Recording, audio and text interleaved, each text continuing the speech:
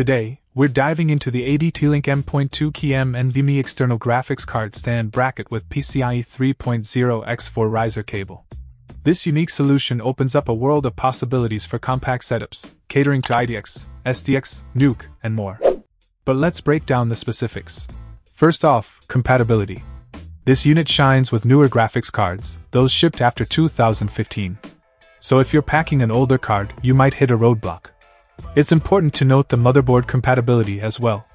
You're looking at support for notebooks, ITX STX motherboards, and NUC setups. However, this device exclusively supports the M.2 NVMe interface, so make sure you're not trying to fit in a SATA or Wi Fi interface here. Now, onto power. You'll need a Dell 12 V18A220W power supply or a standard ATX power supply. Unfortunately, this isn't a plug and play solution in terms of power so keep that in mind when planning your setup.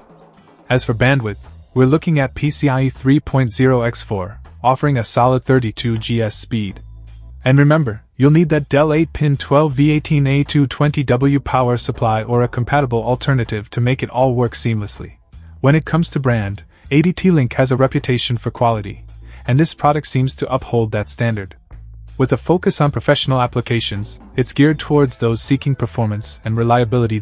So, in summary, if you're in the market for a compact, external graphics card solution with a focus on newer hardware and professional use cases, the ADT-Link M.2 KeyM NVMe external graphics card stand bracket with PCIe 3.0 X4 riser cable could be the answer you've been looking for. Just make sure to double check your compatibility and power requirements before diving in. Check out the video description for updated price. And thank you for watching this video.